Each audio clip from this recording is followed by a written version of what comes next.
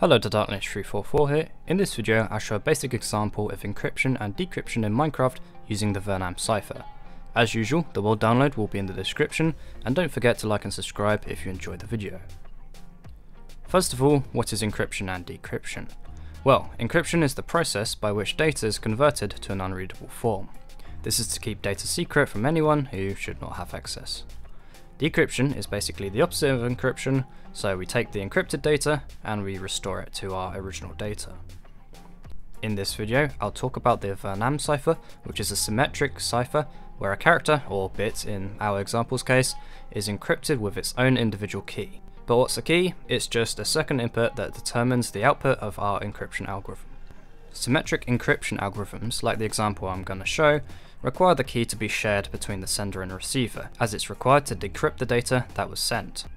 There are also asymmetric algorithms which can use mathematically linked keys which do not need to be shared, but these algorithms are typically a lot more complex and, well, definitely not feasible for Minecraft. I'm sure someone out there will make one eventually, but um, I'll leave it to someone else. So now let's actually get onto the video and show what I've um, created.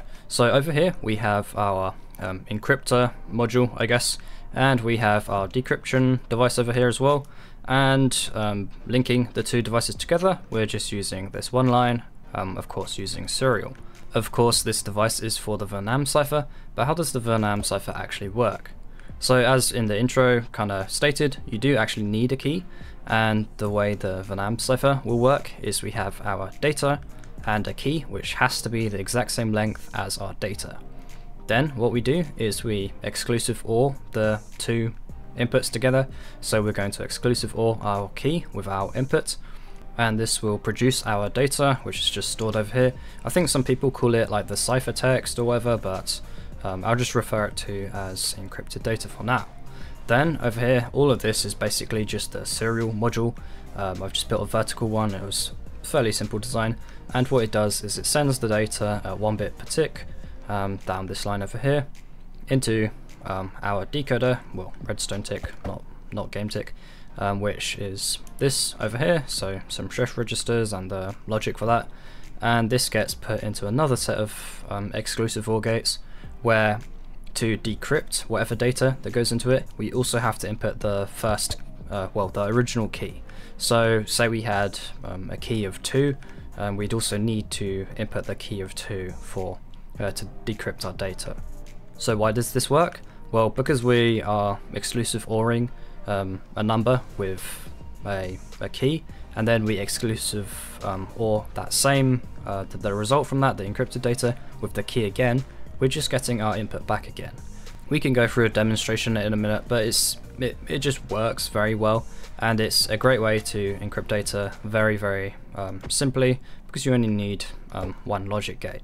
So let's actually give this a test. So let's just put in a random number. So if we put in 1100, uh, 1010 for our um, input, for instance, as we can see, we kind of have it over here. And then if we uh, pick a random key, so I'm going to use 1010, uh, 1011 maybe. And then what we can do is, well, we now have our encrypted data stored over here we can basically send it serially down this line over to our decryption device and as you can see it comes in and well we cannot tell what the input or the key is just from this data over here. This data to any um, attacker or anyone who um, has intercepted our transmitted data um, is useless because they don't know what it means or and it's impossible to decrypt without the key.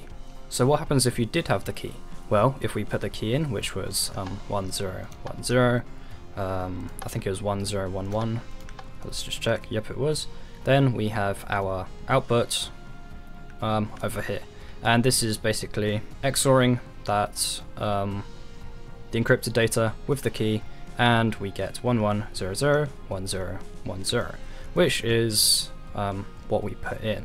So this works quite well, it's a very simple device. And even if you were able to um, intercept that encrypted data you wouldn't be able to do anything with it because you need the key. So for instance let's just hook it up to this random um, serial um, decoder over here So let's just run a line like this. So I just hooked it up to that device over there. And if we transmit the data again, so if we just press send, as you can see, we have um, our data coming in and pretend this was like some um, attacker device and we are trying to steal the information from um, whoever was sending the messages across. Um, they have this data, which is, well, useless to them because they don't have the key.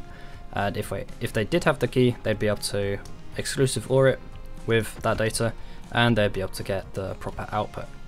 So this device um, that will be in the world download is also 8 bits, which is perfect for um, transmitting individual letters across. So say you had a bunch of like ASCII, so say you had some like um, ASCII string, for instance, you could transmit it across. Um, you just need a bunch of shift registers on each side. So if you transmit one letter across each time, and you could even have a different key for each different letter, um, make it a bit more complex. Then you get the output over here, and you just plug this output straight into a bunch of shift registers, so each time you get an input, you just shift it across one. Um, this is quite a good way of sending um, text over one wire and having it encrypted. Not that I really know what you'd kind of use this for, because you could always just use a messaging service, for instance, in real life. So just for a um, more built-up version of what a device like that could look like, um, I built this device around a year ago. I think it's on my 1000 subscriber special video, and I never completed it though, so um, I guess you can check it out if you want. But what we basically have over here is a QWERTY keyboard, and so we can just input whatever characters, and it gives, um, it will input it in ASCII, I think it's only 7-bit though. Um, you can also um, input custom characters over here on the side, but this basically goes through a bunch of shift registers.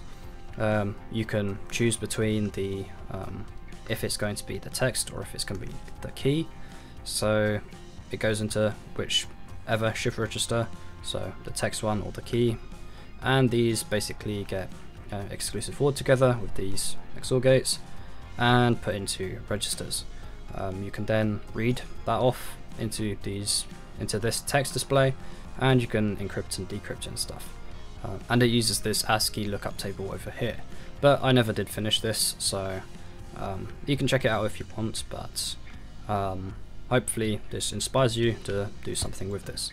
Yeah, the purpose of this device was basically just to, um, you can put data in, encrypt it, and it'll show the encrypted message on here, but you can also decrypt that data and it would show the decrypted message on this display. Uh, this probably wasn't the best way of doing of wiring things up. Um, I'm sure there are much nicer ways of doing it as I was describing earlier with some shift registers.